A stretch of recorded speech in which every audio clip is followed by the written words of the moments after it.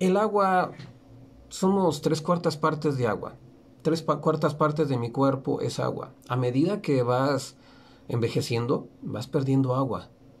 Por eso, por eso es la importancia. Mm, dice la Biblia que tienes que renacer del agua. ¿Sí? Porque el agua viene a sanarte. Mira, el agua te ayuda a controlar la temperatura de tu cuerpo, pero también el agua te ayuda a que se limpie tu cuerpo. ¿Sí? La sangre contiene mucha agua. Y entonces va a llevarte los nutrientes. A cada una de tus células le va a llevar los nutrientes necesarios. Pero también va a limpiar de cada célula aquellos mm, tóxicos, aquello que ya no necesitan tus, tu, cada célula. Te va a ayudar a que por medio del riñón y por medio del hígado se limpia la sangre y va a ser eliminada. El agua es poderosa.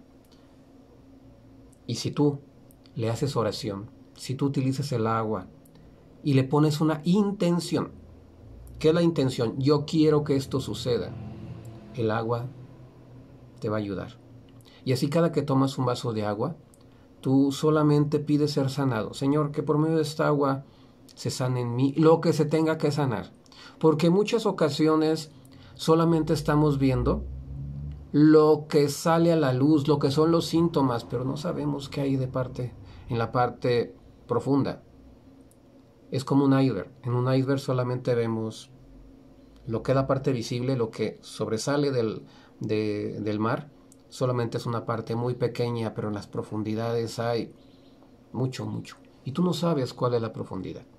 Tú solamente pide que se limpie lo que se tenga que limpiar, sin expectativas, porque la punta solamente estás viendo la punta del iceberg y hay que ver la profundidad. Salud. Oro y miel para ti y tu familia. Recibe mil y un bendiciones. Salud. Tómate el agua.